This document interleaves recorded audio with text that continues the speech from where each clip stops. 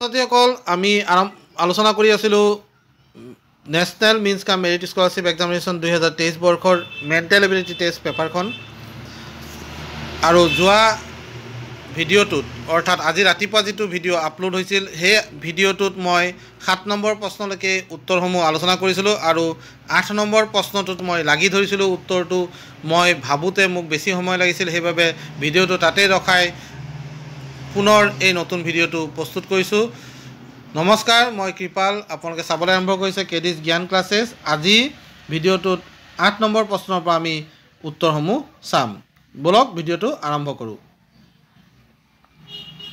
আমাক যিটো অনুক্ৰম দিয়া আছে ইয়াত থকা অনুক্ৰমটোত এটা পদ অশুদ্ধ। Seven twenty eight sixty three one hundred twenty four two hundred fifteen three hundred forty two আৰু ফাইভ হাণ্ড্ৰেড ইলেভেন দিয়া আছে। ইয়াত যদি আমি চাবলৈ যাওঁ তেতিয়াহ'লে আমি এনেধৰণে চাব লাগিব। ছেভেন এই সংখ্যাটো আমি কেনেকৈ পাওঁ এইটো হ'ল টু কিউব মাইনাছ ওৱান কৰি পাওঁ। দুইৰ ঘন টু কিউব মানে হ'ল এইট এইট মাইনাছ ওৱান কৰিলে আমি ছেভেন পাওঁ। ঠিক সেইদৰে যদি আমি তাৰ পিছৰ পদটো চাওঁ পিছৰ পদটোত আমি পাম থ্ৰী কিউব মাইনাছ ওৱান অৰ্থাৎ আমি পাম টুৱেণ্টি ছেভেন মাইনাছ ওৱান অৰ্থাৎ টুৱেণ্টি ছিক্স পাম। কিন্তু আমাক দি থোৱা আছে টুৱেণ্টি এইট এতিয়া টুৱেণ্টি এইট দিয়া আছে ভুল ভুল যিটো পদ আমাক লাগে সেইটো টুৱেণ্টি এইটেই হ'ব নে বেলেগো হ'ব পাৰে আমি চাওঁ।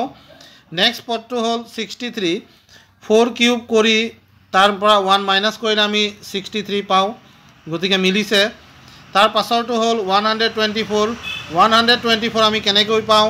ফাইভ কিউব কৰি ফাইভৰ কিউব কৰিলে আমি ওৱান হাণ্ড্ৰেড টুৱেণ্টি ফ'ৰ পাওঁ তাৰ পৰা ওৱান মাইনাছ কৰিলে ওৱান হাণ্ড্ৰেড টুৱেণ্টি ফাইভৰ পৰা ওৱান মাইনাছ কৰিলে আমি ওৱান হাণ্ড্ৰেড টুৱেণ্টি ফ'ৰ পাওঁ। চাবলৈ গ'লে প্ৰথম পদটো দুইৰ কিউব কৰি ওৱান মাইনাছ কৰিলে পোৱা যায়। ছেকেণ্ড পদটো যদি আমি তিনিৰ কিউব কৰোঁ তিনিৰ ঘন কৰি যদি এক বিয়োগ কৰোঁ টুৱেণ্টি ছিক্স পাম কিন্তু ইয়াত দিয়া আছে টুৱেণ্টি এইট অৰ্থাৎ আমাৰ প্ৰশ্নটোৰ ভুল অপশ্যনটো বিচাৰিবলৈ কৈছে গতিকে ভুল পদটো হ'ব টুৱেণ্টি এইট যিসকল ছাত্ৰ ছাত্ৰীয়ে টুৱেণ্টি এইট লিখিছে তেওঁলোকৰটো শুদ্ধ হ'ব। আৰু বাকী নেক্সট প্ৰশ্নটোলৈ যাওঁ। ন নম্বৰ প্ৰশ্ন ন নম্বৰ প্ৰশ্নটোত দিয়া আছে eight thirteen twenty one thirty two forty seven sixty three আৰু এইট্টি থ্ৰী এই প্ৰশ্নটোত প্ৰথমতে আমি চাম যে কি হৈ আছে। ইয়াত চোৱা আঠ আঠৰ লগত কি যোগ কৰিছে? আঠৰ লগত পাঁচ যোগ কৰি পাইছে তেৰ।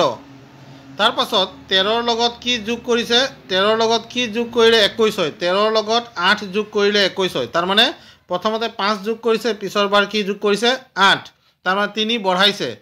তাৰপাছত একৈছৰ লগত কি যোগ কৰিব? একৈছৰ লগত আঠে তিনিয়ে এঘাৰ যোগ কৰিলে আমি পাম বত্ৰিছ। ঠিকে আছে? নেক্সট বত্ৰিছৰ লগত আমি কি যোগ কৰিব লাগিব? এঘাৰ যোগ তিনি চৈধ্য যোগ কৰিব লাগিব আৰু আমি পাব লাগিব কিমান? ফৰ্টি ছিক্স কিন্তু ইয়াত দিয়া আছে ফৰ্টি ছেভেন পাব লাগিছিল ফৰ্টি ছিক্স দিয়া আছে ফৰ্টি ছেভেন নেক্সট পদটোত আমি একেটা বস্তুৱে চাব লাগিব। ফৰ্টি ছিক্স ফৰ্টি ছিক্সৰ লগত আমি কি যোগ কৰিম? ফৰ্টি ছিক্স প্লাছ প্ৰথমতে আমি যোগ কৰিছিলোঁ ফাইভ তাৰপাছত আঠ যোগ কৰিলোঁ আঠৰ লগত তিনি যোগ কৰিলে এঘাৰ হ'ল এঘাৰৰ লগত তিনি যোগ কৰিলে চৈধ্য হ'ব।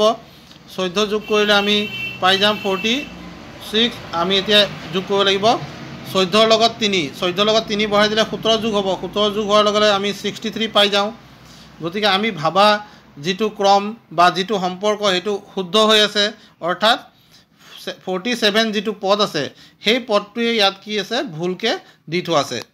অৰ্থাৎ ডি অপশ্যনটো হ'ব ইয়াৰ শুদ্ধ উত্তৰ। ন নম্বৰৰ শুদ্ধ উত্তৰটো হ'ব ডি ইয়াৰ পাছত দহ নম্বৰ প্ৰশ্নটোত যিকেইটা সংখ্যা দিয়া আছে এই সংখ্যাবোৰ বোৰৰ আটাইবোৰেই এঘাৰৰে হৰণ কৰিব পাৰি। অৰ্থাৎ এঘাৰৰ গুণ এঘাৰৰ গুণিতক হয়। কিন্তু এই টু হাণ্ড্ৰেড এইট্টি ছেভেনটো এঘাৰৰে হৰণ কৰিব নোৱাৰি। অৰ্থাৎ নিমিলা বা অশুদ্ধ পদটো হ'ব ডি অপশ্যনত থকা টু হাণ্ড্ৰেড এইট্টি ছেভেন ছাত্ৰ ছাত্ৰীসকল এই আছিল এইটৰ পৰা টেনলৈকে নেক্সট প্ৰশ্নটো আছে eleven to fifteen eleven to fifteen এই প্ৰশ্নকেইটাৰ বাবে নিৰ্দেশনা দিছে বিসদৃশ গাণিতিক জোৰটো বাছি উলিওৱা। এই ধৰণৰ প্ৰশ্নত তোমালোকে অকণমান ভাবিব লগা হৈছে নিশ্চয়। ইয়াত যিকেইটা জোৰ দি আছে এই জোৰবোৰৰ মাজৰ সম্পৰ্কটো যুগ্ম অযুগ্ম মৌলিক যৌগিক ভাজক ভাজ্য এনেধৰণৰ বিভিন্ন ধৰণৰ ধাৰণাৰ সৈতে জড়িত প্ৰশ্ন।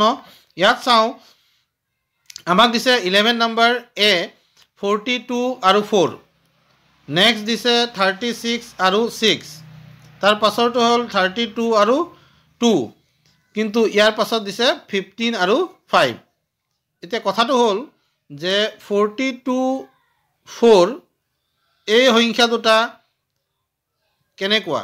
ফৰ্টি টু ফ'ৰ ফৰ্টি টুটো এটা যুগ্ম সংখ্যা ফ'ৰ টু যুগ্ম সংখ্যা ঠিক সেইদৰে থাৰ্টি ছিক্স যুগ্ম সংখ্যা ছিক্সো যুগ্ম সংখ্যা থাৰ্টি টু যুগ্ম সংখ্যা দুইটো যুগ্ম সংখ্যা। আৰু ইয়াত দিয়া ডিটোত অপশ্যন দিয়া আছে ফিফটিন আৰু ফাইভ সেইটো হিচাপত চাবলৈ গ'লে যুগ্ম অযুগ্ম যদি চাওঁ ডি অপশ্যনটো শুদ্ধ হয়।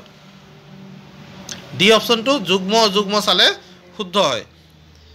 আৰু আন কিবা আছে নেকি? চোৱাচোন অন্য ক্ষেত্ৰত চোৱা প্ৰথম সংখ্যাটো আৰু দ্বিতীয় সংখ্যাটোৰ ক্ষেত্ৰত যদি চাবলৈ যাওঁ ভাজ্য আৰু ভাজক থাৰ্টি ছিক্স টু ছিক্সৰ কি হয়? থাৰ্টি ছিক্স ছিক্সৰ কি হয়? তোমালোকে জানা যে গুণিতক হয়। তাৰমানে থাৰ্টি ছিক্সক ছয়েৰে হৰণ কৰিব পাৰি। ঠিক সেইদৰে থাৰ্টি টুক দুয়েৰে হৰণ কৰিব পাৰি। ডিক আমি ডিত পোন্ধৰ আছে পাঁচেৰে হৰণ কৰিব পাৰি। গতিকে এটা আনটোৰ কি হয়?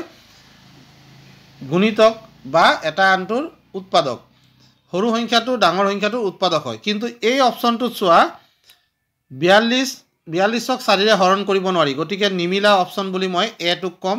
তোমালোকৰ মতে কোনটো হ'ব? তোমালোকে ক'বা। মই মোৰ মতে মই উত্তৰটো কৈছোঁ।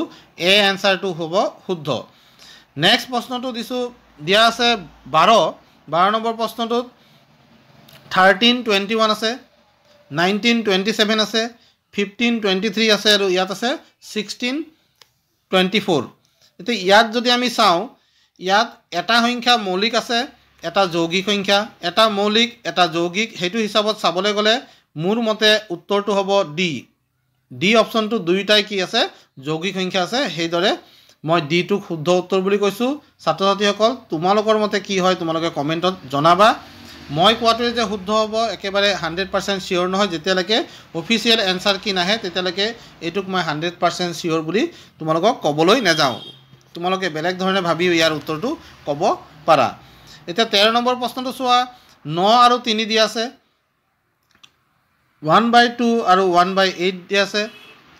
চি নম্বৰ দিয়া আছে ওৱান বাই থ্ৰী আৰু ওৱান বাই টুৱেল্ভ আৰু ডি নম্বৰত দিয়া আছে টুৱেণ্টি ফ'ৰ আৰু ছিক্স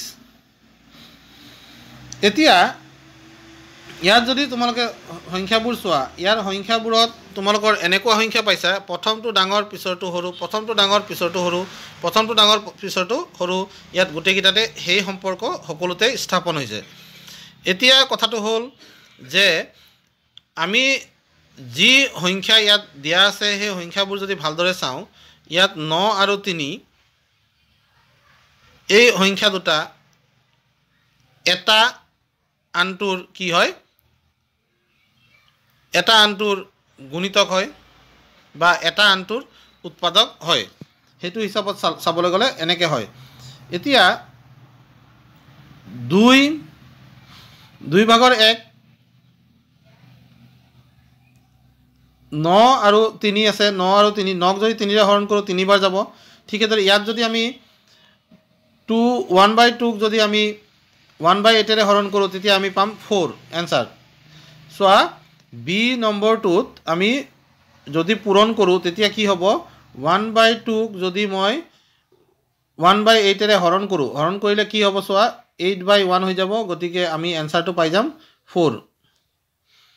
এই চি নম্বৰটোত আমি ওৱান বাই থ্ৰীক যেতিয়া ওৱান বাই থ্ৰীক যেতিয়া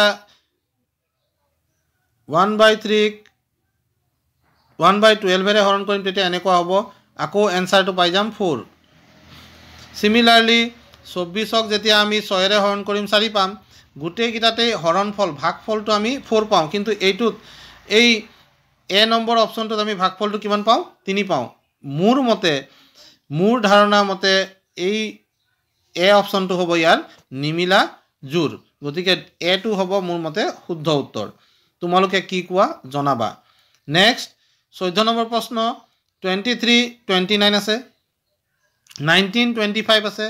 থাৰ্টিন ছেভেণ্টিন আছে। থ্ৰী আৰু ফাইভ আছে। ইয়াত চৈধ্য নম্বৰ প্ৰশ্নটোত প্ৰত্যেকটো জোৰ মৌলিক সংখ্যাৰে গঠিত বা মৌলিক সংখ্যাৰ জোৰ দিয়া আছে। কিন্তু এই এইটো জোৰ কি হয়? এটা মৌলিক সংখ্যা আছে আৰু এটা যৌগিক সংখ্যা আছে। গতিকে বি অপশ্যনটো মোৰ মতে শুদ্ধ হ'ব। পোন্ধৰ নম্বৰ প্ৰশ্নটো ফিফটি থ্ৰী ফিফটি ফ'ৰ আছে। ছিক্সটিন টুৱেণ্টি ছিক্স আছে। টুৱেণ্টি ছিক্স টুৱেণ্টি ফ'ৰ আছে। আৰু টুৱেণ্টি ছেভেন টুৱেণ্টি টু আছে। এতিয়া কথাটো হ'ল ইয়াত যি সংখ্যা আছে চোৱা এই সংখ্যাবোৰত এটা ইয়াত এটা আছে অযুগ্ম সংখ্যা যুগ্ম সংখ্যা ইয়াত যুগ্ম যুগ্ম দুটা যুগ্ম সংখ্যা আছে।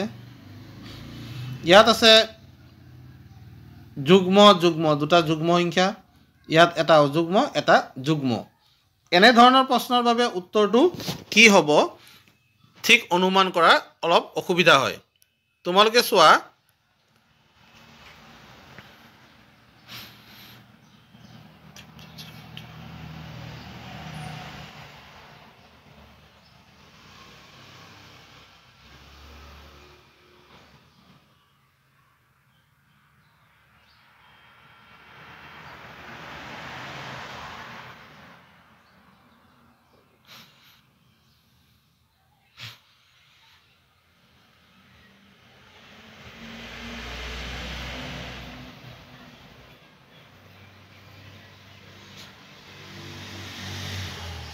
এই প্ৰশ্নটোৰ উত্তৰ কুৱেশ্যন নম্বৰ ফিফটি থ্ৰী ফিফটিনৰ অপশ্যনবিলাক চাবা। অপশ্যনবিলাক চোৱা ইয়াত আছে ফিফটি থ্ৰী আৰু ফিফটি ফ'ৰ ইয়াত ছিক্সটিন টুৱেণ্টি ছিক্স ইয়াত টুৱেণ্টি ছিক্স টুৱেণ্টি ফ'ৰ আৰু ইয়াত আছে টুৱেণ্টি ছেভেন টুৱেণ্টি টু এটা সংখ্যা আনটোতকৈ ডাঙৰ কিমান ডাঙৰ?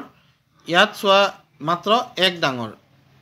এইটোত হ'ল ক্ৰমিক সংখ্যা। এ অপশ্যনটো হ'ল ক্ৰমিক জোৰ। এই এই জোৰবোৰ কিন্তু ক্ৰমিক নহয়। এই জোৰবোৰ ক্ৰমিক নহয়। এই জোৰবোৰ ক্ৰমিক নোহোৱাৰ কাৰণে আমি ক'ব পাৰোঁ যে এ অপশ্যনটোৱেই শুদ্ধ হ'ব। ছাত্ৰ ছাত্ৰীসকল তোমালোকৰ মতে কোনটো শুদ্ধ দিছা তোমালোকে জনাবা। আজিৰ ভিডিঅ'টোত এই পোন্ধৰ পোন্ধৰ নম্বৰলৈকে মই তোমালোকৰ লগত আলোচনা কৰিলোঁ। পৰৱৰ্তী ভিডিঅ'ত মই আৰু আগৰ প্ৰশ্নবোৰ আলোচনা কৰিম বুলি প্ৰতিশ্ৰুতি দি আজিৰ ভিডিঅ'টো ইয়াতে সামৰিছোঁ। ধন্যবাদ।